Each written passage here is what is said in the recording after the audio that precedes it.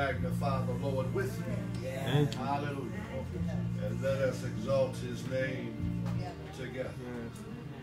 First, giving honor to the Spirit of Christ, to the angel of this house in his absence, Pastor Harris and First Lady Harris, to the saints of God that are assembled here, to uh, Mother Warren. Um, it is, and to all of you, it, it is no, uh, uh, but nothing but history that I am back at New Life Missionary Baptist Church.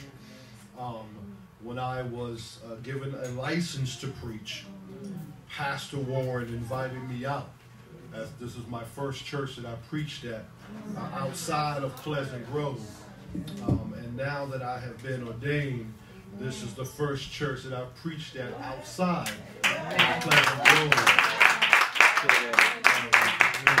As ordained Reverend of the Gospel. So I, uh, my, my heart, and I've been back here many, many times uh, through your transition, and um, Pastor Harris, um, like a big brother to me, has always invited me and encouraged me. I can call him uh, whenever he calls on me. I falter not, and uh, I'm willing to come and do whatever uh, the Lord has at that particular time. So I am blessed for the Lord to be here. I've already introduced most of my, if you hear the noises, it's my grandchildren. Don't worry about it. That's what they do. That's just, just what, I know my brother had his, is that, are those twins? No? Wow. Sons of, triplets. Wow. That's, I'm not, I'm not worried about children. That's what children do. Amen. Children, children make noise and praise the Lord. Amen. Um, so we're going to go ahead and move. I'm not a long-winded preacher.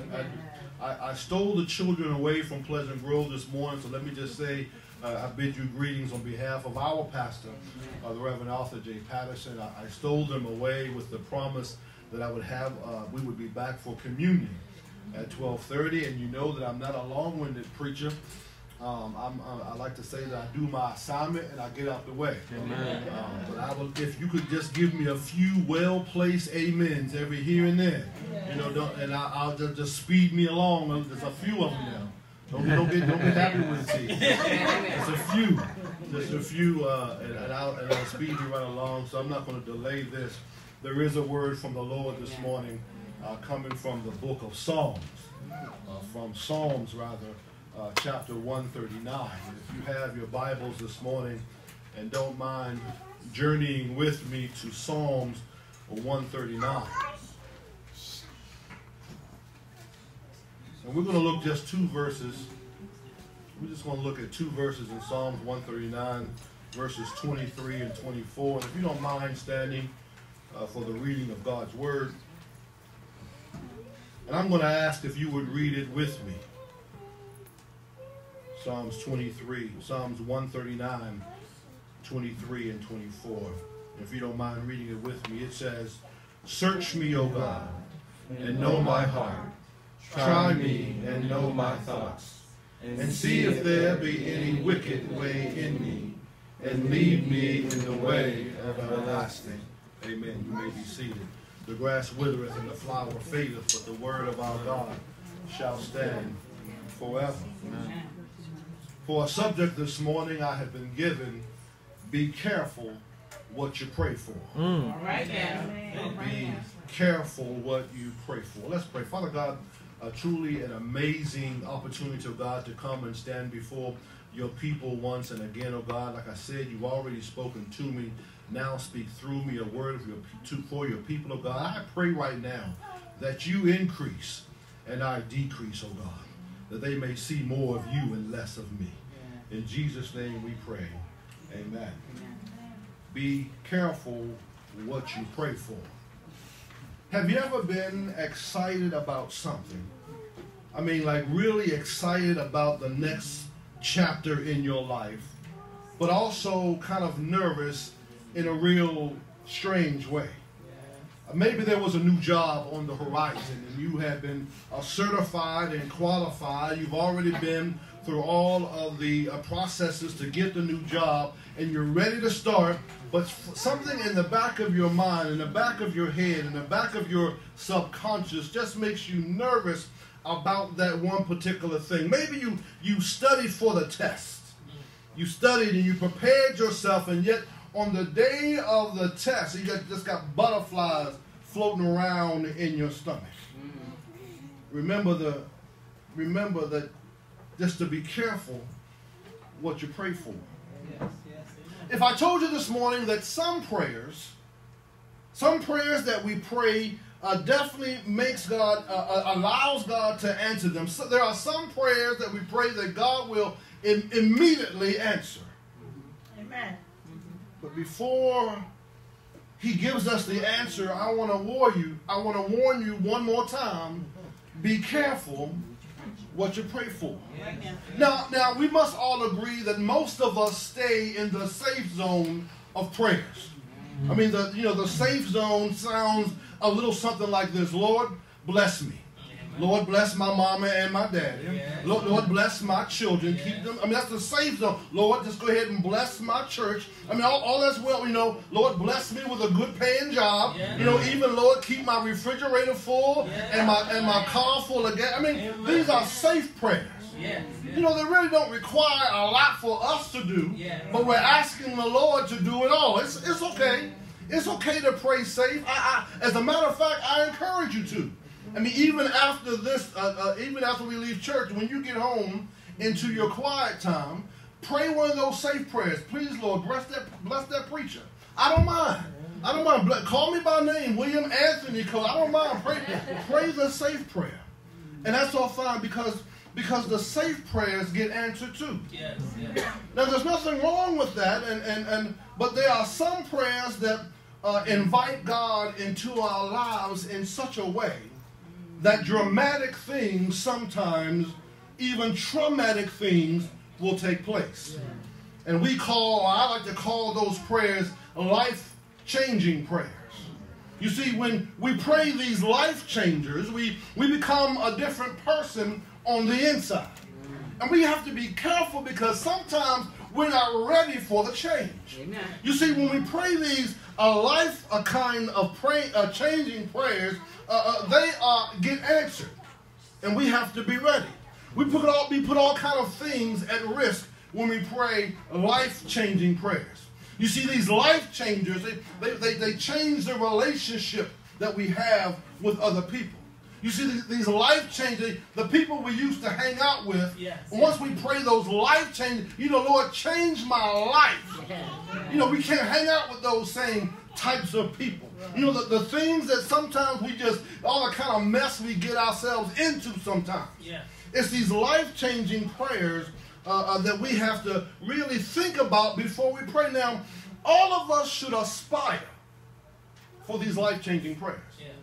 Yes. But we have to be careful because all of us are not ready for the change that life, the change that God's going to bring about in our life. Amen. So be careful Yes. what you pray for. Yes. You see, at the end of a life changing prayer, it's an opportunity for us to walk closer with the Master. Yes. And some of us are not ready to walk closer with the Master. Mm. You see, at the end of a life changing prayer, you know, uh, uh, you know the, the, the folks that we used to hang out with at work, the folks we used to hang out with after work, Yeah. the folks we used to hang out with on the weekend, th- those those crazy folks that we love so dearly, but you know the life changing prayer. We got to be careful what we pray for. Our scripture this morning, I'm not going to be long, but our scripture this morning takes a look at a life changing prayer from King David. You see, David says, David said, You know, God, it would be good if he, before uh, verses 23 and 24, David's talking about all the wicked people in the world. And he's saying, You know, God, it would be all right if you just killed all the wicked people. You know, God, he, David, David goes on to say, especially the murderers. It's okay, God. Just go ahead and take David. If you read before verses 23 and 24, David says it's all right. Go on, go on, God, and take care of those. Take care of those. As a matter of fact, David says, you know, those that take your name in vain. Oh Lord, David says, I despise those most. Take care, take care of those for you, for me. He said, I can't stand people that do that. The, the people that really get under my skin, David says, take them out. But you know, sometimes it's even uh, so easy for us to look at other people's sin Yes. and not realize that we're creating, committing even the same types of sin. So David realizes that, and all of a sudden, in verse 23 and 24, he has an epiphany. And he says, wait a minute, whoa, whoa, maybe I'm guilty of the same thing. All right now. So David comes up and he says, uh, uh, uh, uh, Lord, look at me. Look at my heart, Lord. And how many of us know it's, it's even, it's easy, it's so easy to see the stuff that other people are doing and not realize that we're doing the same exact thing. And you gotta pray with me this morning. So you ever come across someone who actually uh, uh, you're thinking? I had a, I had a, this is this is a true story. I had a friend of mine who was in law enforcement, and he calls me up one day and he said, "You know, I, I follow the Brinks truck as a part of my job, and I see so many. This is the truth. I see so many vulnerabilities in the Brinks, the security they have around the Brinks truck, and he began to design a plan." That could actually rob the Brinks truck. I'm, I'm telling you, look, he was a law enforcement officer. He he still is. Uh, bless the Lord. He's a Christian. He and you know he sat down. He took it seriously. Sat down at the kitchen table and drew plans up of how to knock off the Brinks truck. And then a few months, maybe a year or so later, somebody actually did almost to the letter what his plan was. Almost to the letter. And I started to wonder, wait a minute did you have something to do with that? But you know, when, when it happened, he was off that day. As a matter of fact, I was out with him, so I know it wasn't him. But you know, he was just so, he couldn't believe that someone would actually, I mean, he thought about it, but he couldn't believe that somebody would actually do it. And so many times in our life, even the evil thoughts that we think, when we, people actually do what we think should be done or, we could do, we are so we are so we are, we are so upset that somebody would actually do what we thought about but didn't have guts enough to do. Come on now, somebody, somebody, somebody we, we thought about we thought about stealing something from the store, but when somebody actually stole something, man, how could you go in there? You don't have no better sense to steal something from a store. I mean, I mean, we thought about cheating maybe once or twice, and, and somebody like, oh man, how could you bring that all that up into the house of God? We get so indignified with it. How could you do all that? But but we the ones that actually thought about it, but didn't have, you know, had wisdom enough. I would say something else, but we had wisdom enough not to do it. That's right. And one of the reasons, church, that we think that way. One of the reasons that the devil, uh, that we allow, listen to this, that we allow the devil to enter in and enter those thoughts into our, into our mind is because we don't ask the Lord to search our hearts, All right now. to show us in us, to show us in us what he sees in us. Let me tell you the story. It just happened yesterday. I was riding down the road with one of the teens. And I said, look in the glove box and pull out this thing that I know is in there. And even as soon as I said, look in the glove box and pull it out, I knew what his response was going to be. He was going to open it and close it and say it's not in there. And that's exactly, I could call no names here. I'm not going to call no names. I'm not going to call no names. But he, he opened it, he opened it up and closed it back and said, no, Mr. Reverend Cruz, it's not in there. Now I know it was in there. I know it was in there because I put it in there. Amen. So I said, "Well, did you move?" He says, "The only thing is in there. What you say? Here? The only thing is in there is a is a is a flashlight, a tool, and some pens." I said, "Well, did you move the pens out the way?"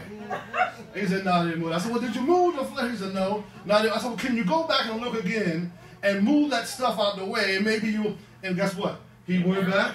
He moved, and oh, is this it? That's exactly what he said. But you know, when we examine ourselves, now pay attention now, when we examine ourselves, we do the same thing that Eric did yesterday. We take a peek at our heart and see some stuff that need to be moved around, but don't even move it around. Come back and say, well, I'm not that bad. I, I'll look at that later. I, I know there's some stuff. I know there's some stuff I need to move out the way, but I'm gonna do that a little later. Right. You see, we and that's when the devil intervenes and gives us those thoughts of the stuff that we know we're not supposed to be doing. All right now. And when somebody else does it, how upset we are with them that they did actually what we thought we were gonna do a long time ago. Yes. Amen. You see, sometimes, if not all the time, if we ask God to look at ourselves, we will see a reflection that we knew was there, but we sometimes we ignored it a long time. Yes. But if we look at our hearts, our hearts lie to us. Oh. Our hearts report a condition that's untrue. Now you say, well, now wait a minute, preacher. How could our hearts do that? Because our hearts are pure. Our hearts are true. But see, we're not moving things around. So when we look at it, when we peel back the layers like an onion, we peel back the layers of our heart, we'll get to the core, and we know that the core is good, but the layers around the core need to be removed. Mm. And that's like our lives sometimes. We we know that our heart is pure, you know, we can do bad stuff and justify it by saying, Well, the Lord knows my heart. You know, we can we can justify things. I, I know I'm not supposed to be at this party. I know I'm not supposed to be out hanging out. You know, we finger popping on Saturday night and hand clapping on Sunday morning. I know y'all know what I'm talking about. But there's some things, there's some things that we have to be careful what we pray for. Amen. The wickedness of our hearts tells us that we cannot trust even somebody else. You ever meet somebody that you are about to either have, a, I'm not talking about a, a, a, a, a man woman type of relationship or any type of relationship, I mean a friend relationship. You meet somebody and they just don't trust you at all. Mm-hmm. I mean, you, you, you hang out, you know, you, you buy them lunch here and there, you, you hang out with them every once in a while, but every time they turn around, they're accusing you of doing something that you didn't even do. You see, that type of person, those types of persons have, have looked at their hearts and they're afraid that you're going to treat them like they have been treating everybody else. You know, you, you, you, you, you, you get accused of, some folks accuse you of lying. Oh man, that's not true. You know, you, you tell them a story, but the, the, the, we found out that the problem is that, that they're so much of a liar. Hold up now. That they're so much of a liar that they can't trust anybody else. The wickedness of our hearts sometimes even deceives ourselves. But David, David says, Lord, why you're searching me? Could you also test me to show me what my anxious thoughts are? You see, anxious thoughts are produced by fears. Fear of losing everything. I'm, I'm reminded about the folks in Guatemala. I'm reminded about the folks in, in, in, in Hawaii with the volcanoes. And y'all remember this. Last year, preachers were preaching about the floods down south. They were they were preaching about the hurricanes in Florida and the hurricanes in, in, in Louisiana and the Gulf and the Gulf and the, you know all the hurricanes that came through Puerto Rico. You know they were preaching about that, saying you know the Lord is trying to wake us up. They're preaching about the fires in California. And, you know, I, I, I, remember even myself saying there can't be any more woods in California. They've been burning for so long. There can't be anything left. They must be consumed already. But but but now, you know, we, we fast forward 12 months, and then there's volcanoes. Mm. You know, volcanoes that have been dormant for many, many years are now erupting. You know, there, there's volcanoes, and not only in the United States, I mean Hawaii, but also in, in, in Guatemala, I mean erupting. And you're wondering, is the Lord really trying to tell us something? And I'm here to tell God's people, yes, the Lord is trying to tell us something. The first thing He's trying to tell us is one, get your house in order. Amen. Get your house in order. The stuff that we accumulate all this, you know, nice cars and fancy, you know, all this stuff. You know, we got the hardwood floors and the house polished. I mean, all this stuff will pass away. The only thing that will last is what you do for the Lord. And he's trying to tell he's trying to tell you that, you know, I firmly believe Grandma preached it. Grandma said the end of the world is, is near a hundred years ago.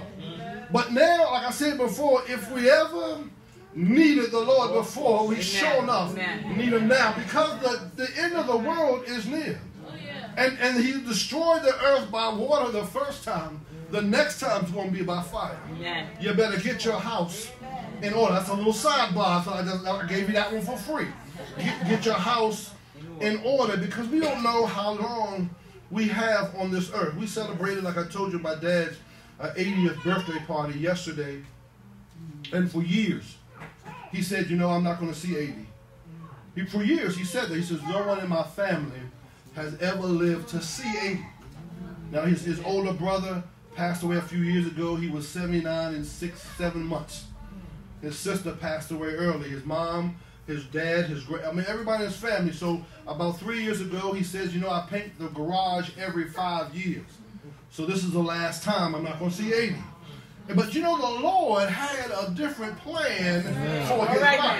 now. All You right see, now. he thought because, and, and, and one, of the, one of my cousins who's a preacher said, the curse has been broken. Hallelujah. He's God is still in the miracle business. Yes, he He's still breaking chains for all of us. And he broke that chain. But I'm here to tell you this morning, be careful what you pray for. Amen. Amen. Amen. See, all of us need to get to that point in our Christian walk Yes. Where we can pray that prayer like David prayed. Yes. Lord, examine me. And God will reveal to us those things that we need to straighten out in our life.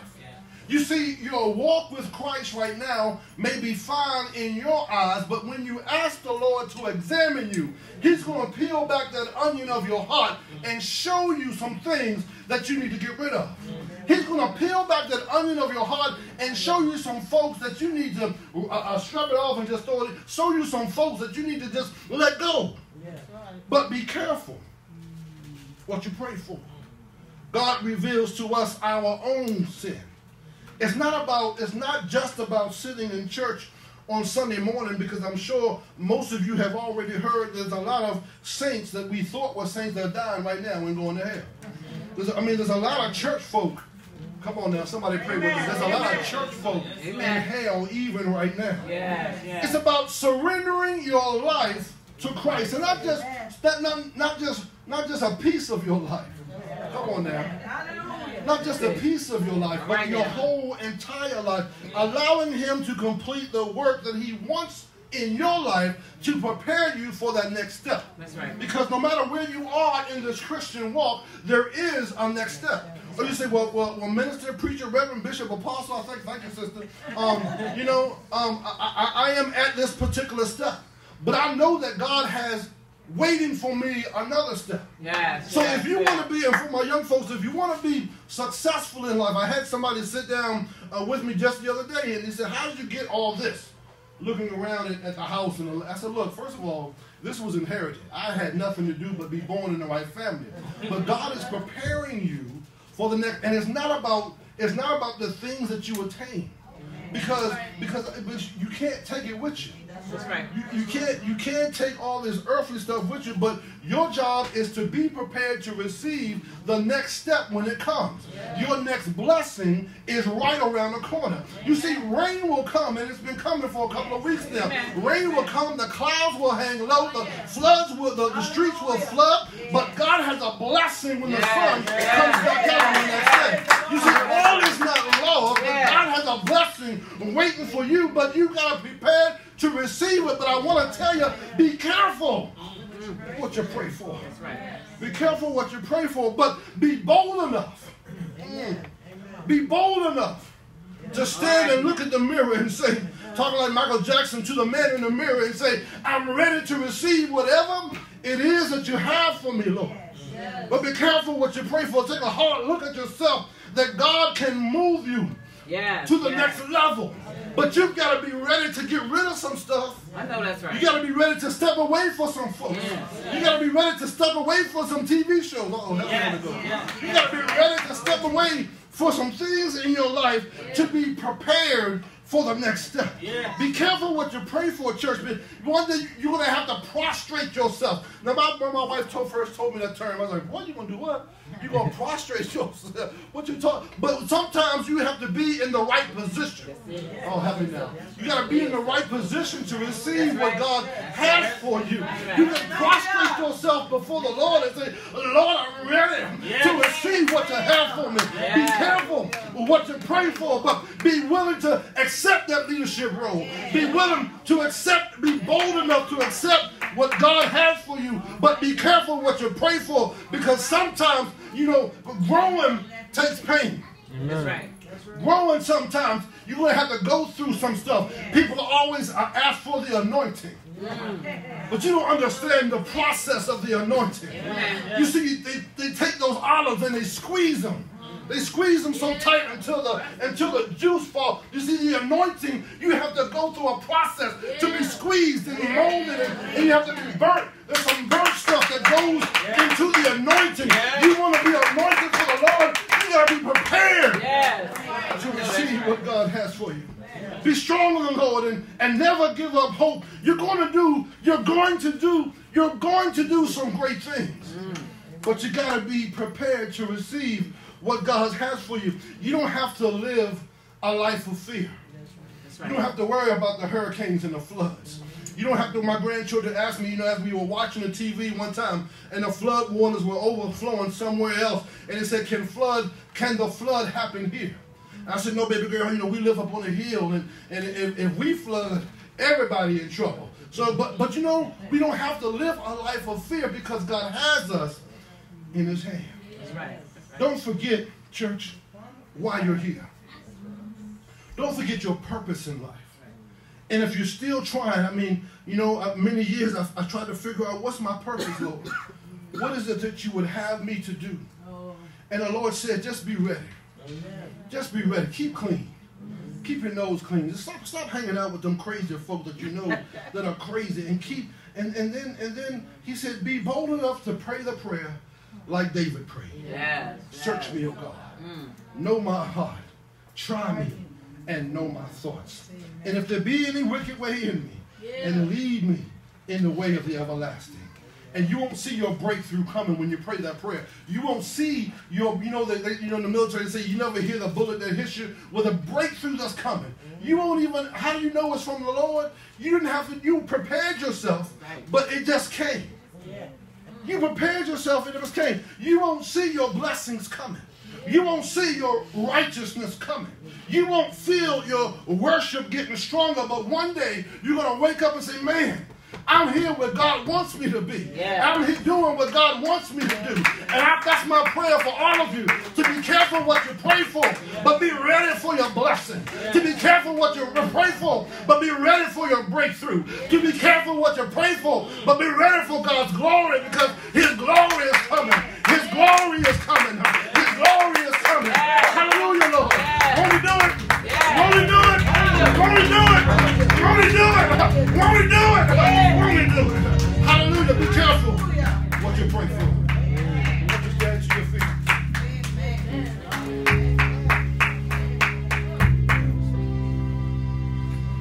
Bless the Lord this morning.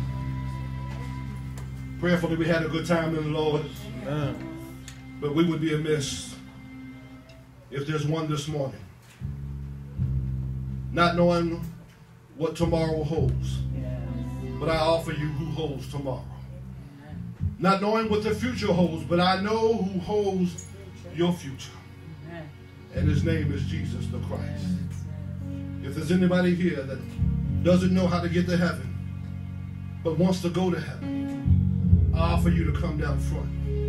And I will show you the way. I'll, I'll, I'll explain the plan. The deacons will come or, and will show you the plan. The doors of the church are open. Is there anybody this morning?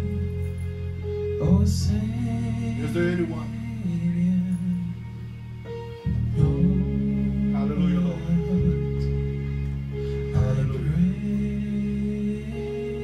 If you know in your heart of hearts that if tomorrow never came in your life,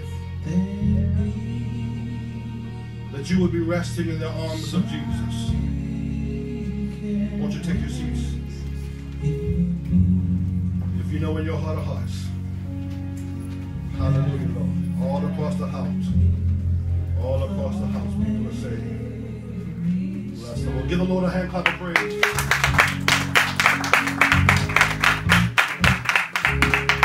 I, thank you so much for the again this opportunity to come out. Please give Pastor Harris, Sister Harris, my love. Call him tomorrow probably and just uh, thank myself. But bless you, all of you who came out this morning. We'll just stand to your feet for dismissal?